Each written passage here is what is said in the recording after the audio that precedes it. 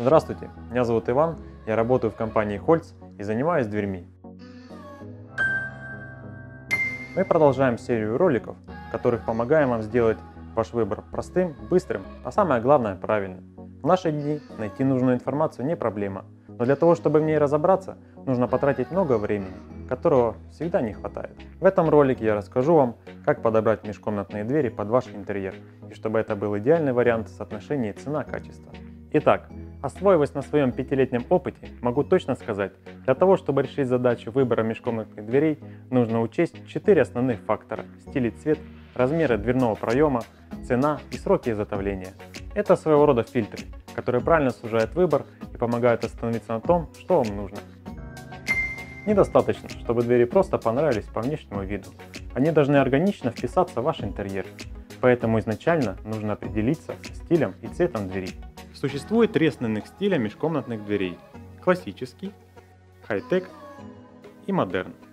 Все остальное – это разновидности этих стилей. Несмотря ни на что, классический стиль остается популярным среди покупателей. Ему свойственны изогнутые элементы, фрезеровка в виде полукруга или арки.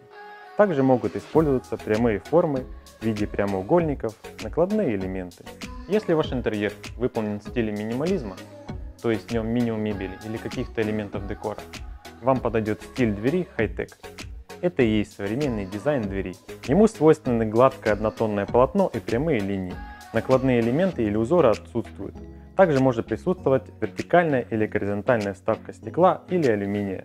Модерн – это что-то среднее между классическим и современным стилем. Здесь могут использоваться как прямые, так и плавные линии, как простые геометрические формы, так и элементы неправильных форм.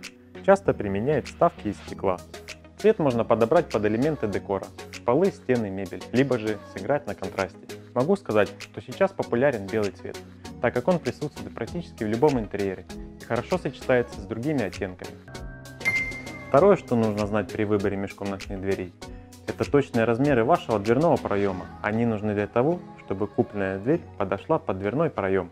Кроме того, зная размеры, вы получите точную стоимость покупки и сэкономите свое время, исключив из выбора те двери, которые физически не подойдут в ваш проем. Вам нужно знать всего три цифры – высоту, ширину проема, а также толщину стены. Вы можете снять эти размеры самостоятельно, либо же обратиться к услугам профессионального замерщика. Я рекомендую вам второй вариант, поскольку в таком случае всю ответственность за выполнение заказа несет компания, услугами которой вы воспользовались. К тому же это стоит недорого или вообще бесплатно, как у нас.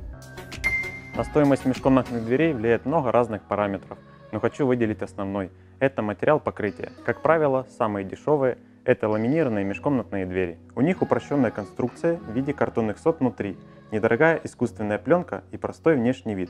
Срок службы таких дверей крайне низкий, поэтому мы их не рекомендуем, и дверей такого типа нет в нашем ассортименте. К среднему ценовому сегменту можно отнести двери в пленке. Вместо картонных сот внутри используется древесина или МДФ. Покрываются такие двери пленкой, которая имитирует натуральный шпон. Они практичны в уходе, универсальны, отличаются многообразием рисунков и текстур, повышенной износостойкостью и влагоустойчивостью. Как правило, дороже стоят шпанированные, крашеные и стеклянные двери. Шпанированные двери – это двери, в изготовлении которых используется сосна и МДФ. Покрываются они натуральным шпоном из ценных пород древесины. За счет этого такие двери очень похожи внешне на деревянные двери из массива. Крашеные двери. Главным их преимуществом является то, что их можно покрасить в любой цвет и создать неповторимый и оригинальный интерьер. Краска может наноситься на МДФ, и тогда получится идеально ровная поверхность. В случае, когда она наносится на шпон или массив, на поверхности просматривается структура дерева. Стеклянные двери. Сейчас этот тип стал применяться не только в офисах или других коммерческих помещениях, но и в квартирах.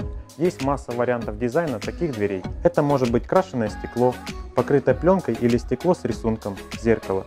Технически из стекла возможно выполнить конструкцию не только обычной двери, но и перегородку, разделяющее помещение. Ну а самыми дорогими являются двери из массива. При их производстве используют ценные породы древесины – дуб, орех, ясень, ольха, красное дерево и другие. Чаще всего из массива изготавливаются двери классического стиля. Преимущество таких дверей – это натуральность, экологичность, долговечность в использовании. Подытожу. Привязка стоимости к материалам несколько условна. Здесь много зависит как от качества самого материала, так и от производителя. Например, двери в пленке в некоторых случаях могут быть дороже крашеных или шпанированных, но в целом просматривается именно такая тенденция. Ну и последний параметр, который определяет выбор дверей, это их сроки изготовления.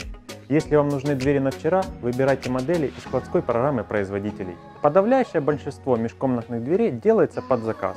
При этом не забывайте, что в салонах в зале представлена лишь малая часть из ассортимента. Вы можете их выбирать и по каталогам. Вы также можете приобрести двери по индивидуальному заказу. Такие двери не представлены в ассортименте производителей. Они изготавливаются по визуализации или по вашему дизайн-проекту. Надеюсь, эта информация была для вас полезной и вы воспользуетесь моими советами. Ждем вас в наших магазинах, здесь всегда есть из чего выбрать. А выбор будет легким, простым и быстрым. Ставьте палец вверх, если вам понравилось наше видео и подписывайтесь на наш канал.